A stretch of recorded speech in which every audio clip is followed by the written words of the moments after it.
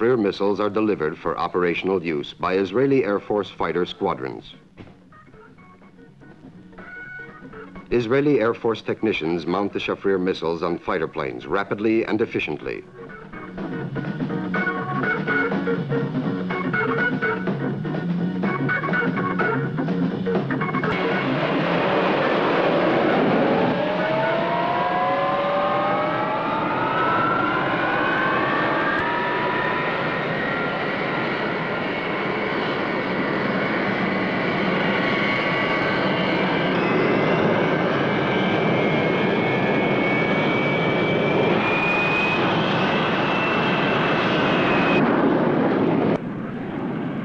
שתיים, שים לב, מגיעים בשעה 12.